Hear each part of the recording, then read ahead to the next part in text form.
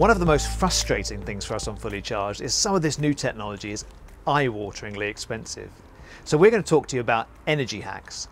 After all, you spend tens of thousands of pounds on your energy bills over your lifetime. And you don't necessarily need a smart meter to tell you you're wasting money.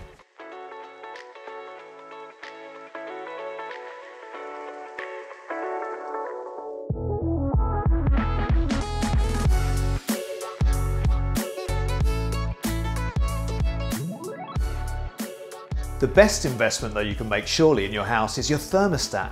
We take them for granted, but they're the brain of your home heating system.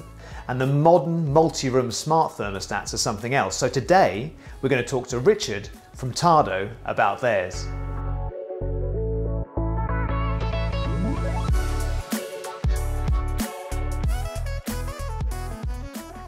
Richard, it's great to, to see you. Thanks for having us. Pleasure, Dan. Can you tell us about you know, why we should get a, a Tado smart thermostat. Tado's smart thermostat is a, is, a, is a device which connects to your heating system, to your gas boiler.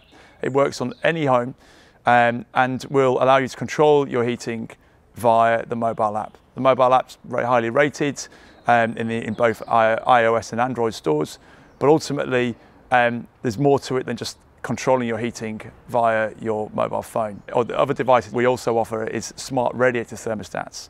Now, if you look at what's, the, what's over the last 12 months with the pandemic, a lot of people working from home, heating every room in their house when actually they only need to be heating maybe one or two rooms. The smart radiator thermostats connect to existing radiator valves, uh, particularly TRV valves, which are the ones with the thermostatic radiator valves. Exactly. Yeah. yeah. And then what that does is it allows you to then set a schedule, set a temperature, or call for heat to that particular radiator. And we've got real nice peace of mind that we're warm and comfortable, but we're not heating the other 10 radiators in our home at full power. That's a great feature, isn't it? The, the old thing was just put the heating on, put it on high, it's throughout the house, and actually you waste a huge amount of energy by, by doing that. So tell me about the types of properties. Does, does, does Tado work with as well with a sort of three bedroom semi-detached as it, as it does with a, with a larger property? It works on any home. Like, right. So it works, so you, you could have a, like a one bedroom apartment and you would, um, and you, Tado would connect to that, to that gas boiler in that in setup.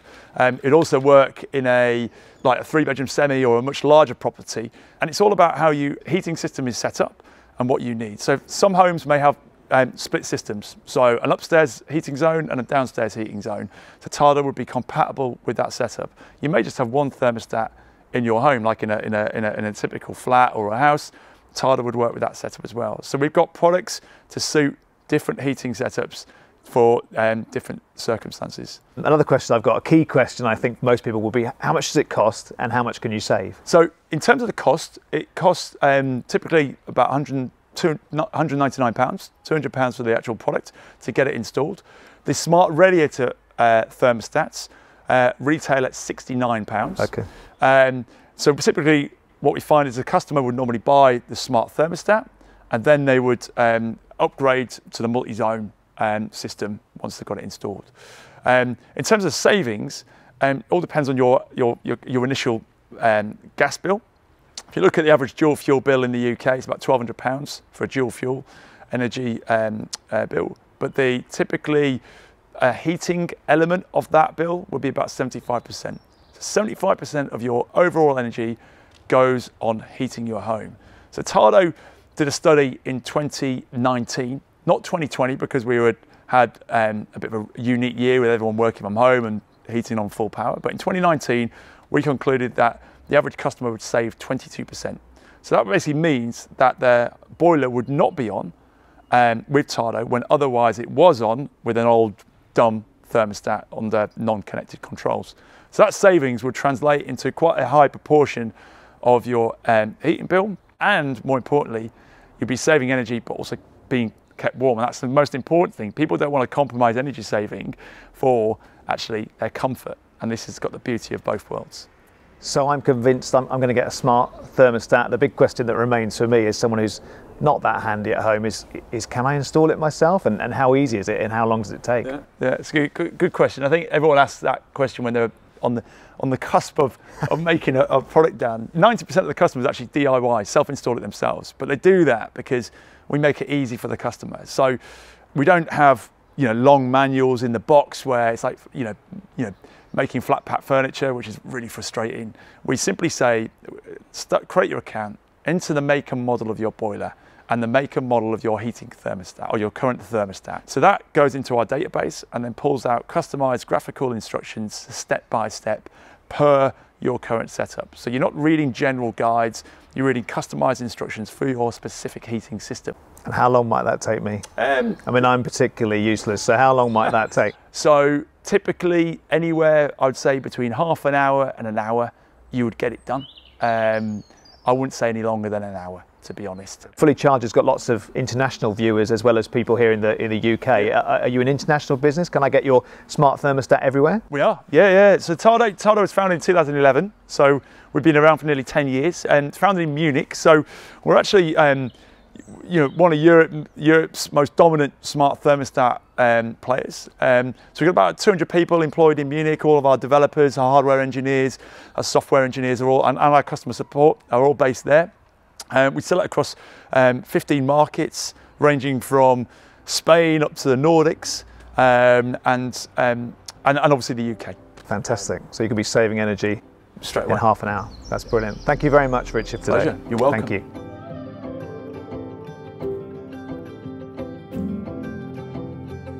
Of course, Tado isn't the only technology available. So if you are shopping around, I suggest you also check out Honeywell, Homely, Radbot, Genius Hub, and a word to the wise, if you are looking to install other technologies in the future, such as air source heat pumps, it's a really good idea to check your smart thermostat is compatible with those and your system is future-proofed.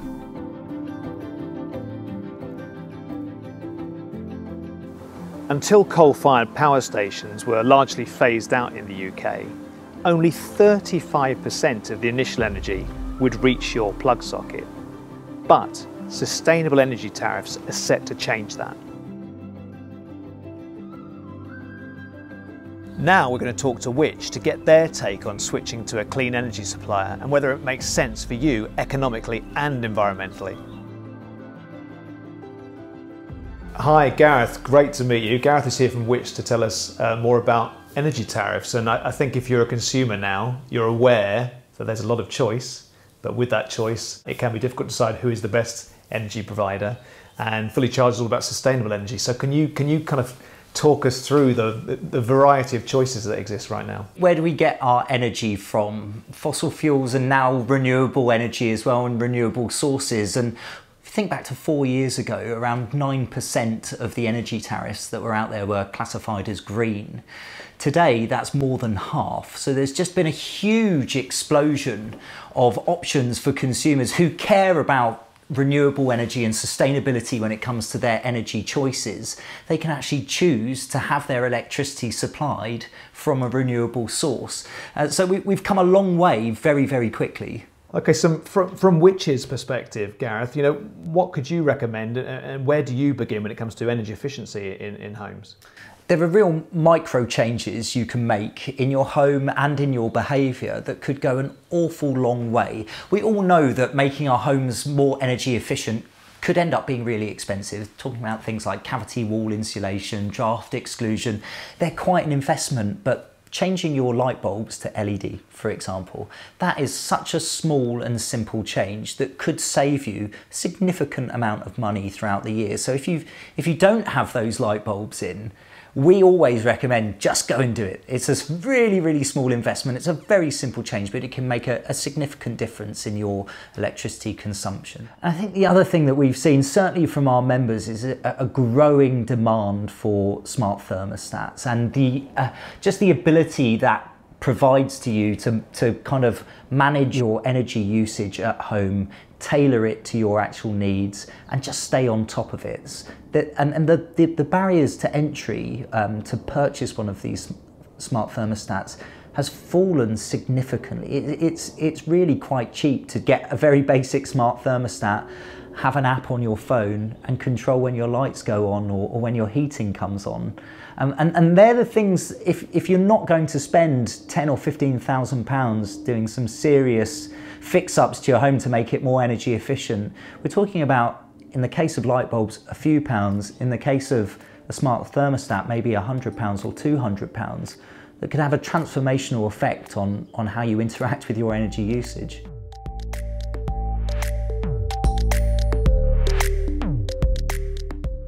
Of course, once you've switched energy tariff, you might want to make the most of the money that you're paying for. So one thing we'd recommend is checking out your phantom load and reducing that. If you don't know what that means, just think about all the smart appliances and other appliances you've got on around your house. They might be in standby mode, but they're still sucking energy all of the time. Some of these suppliers are different to others. So, you know, for some, if you invest in them, you might find that they're building solar farms or, or wind turbines. For others, they're doing interesting pioneering work. But how do you how do you work out who's doing the most and how that squares with your values and, and what you want to be buying as a consumer. Green doesn't necessarily mean good when it comes to energy tariffs. And, and this is the really challenging thing for you if you're if you don't know how this market works, but you do want to make, in your view, an ethical choice about where you're getting your energy from, you really do have to navigate a bit of alphabet soup. So you can get an energy tariff from a provider that owns a wind farm, owns a solar farm, generates electricity from that, puts it through the pipes and puts it into your home. Bingo. You, you know, you, you are basically funding renewable energy by taking that tariff. Others they don't own those kinds of assets and infrastructure, but they're purchasing genuine uh, electricity that's been genuinely um, generated from renewable sources. And they, they're doing other things to make sure that we have a sustainable future, as you mentioned. And, and you might think, well, that actually matches my morals. And, you know, one of the decisions you have to make when you're choosing an, ener an energy tariff is price. You know, can you afford the, the, the monthly direct debit? If you're going to a renewable source, it could cost you a bit more money. But are you willing to pay that additional premium in order to have that peace of mind that you're making a difference? So the perception is, you mentioned it earlier, that some of these suppliers are more expensive than traditional energy suppliers. Is that a generalization? There's some truth in that, or, or does it vary? You can pay more for them, but each tariff is different. It depends how you're taking it. Is it an online only tariff? Is it a tariff that um, gives you a discount because you have a smart meter installed in your home? Are you paying your um, tariff by a monthly direct debit? These are all factors that will impact on the actual price that you pay. So yes, there might be a premium for you to um, get your energy from a renewable source, but there are lots of ways you can carve that price down by choosing not to have paper statements, for example. That's a way that you can get a cheaper tariff by agreeing to have a smart meter installed into your home. That's another way you might be able to cut the cost. And indeed, setting up a direct debit rather than paying a bill on a monthly basis, you will find you'll, you'll get a discount for that. So each tariff is different. You need to, it, this is the challenge as well. You need to know how you're comfortable paying for it, what infrastructure you might need, um, uh, who the best company to go with, who's going to give you great customer service, what the right price point for you is as well. So it's, it's not just as easy as buying a, a tariff off the shelf or, or indeed you know, like the old days, answering the door and, and switching your energy tariff from a salesman, you know, those days are long gone, but um, it used to be quite a, a, quick and easy decision to switch tariff. Now, particularly if you, if you want uh, to get your energy from a renewable source, there's lots for you to consider. So it's something we would recommend to people to, to, to look around and to, and to switch to a, a cleaner energy supplier. But how do they how do they go about that? Do you have reference tools on, on your website or, or do you recommend people talk to the suppliers directly? It doesn't matter whether it's your energy tariff, your car insurance, you know, your, your credit cards. If you're going to switch to something, put in the work. That's what I always recommend. Set aside an hour or so get your bills together, find out how many kilowatt hours you've been using, um, arm yourself with that information and then get on price comparison sites. Yes, Which operates a price comparison site will tell you really clearly um, uh, whether or not you're going to get a green tariff, but there are lots of other price comparison sites out there that you could use, and, and you might want to use a, a, number of them because you, you could find you could get exclusive deals on, on certain price comparison sites that you, you can't find anywhere else. So that's definitely something to consider. Enter in all of your details, find out exactly um, how much energy you use and, and perhaps forecast how much you're going to use in the future.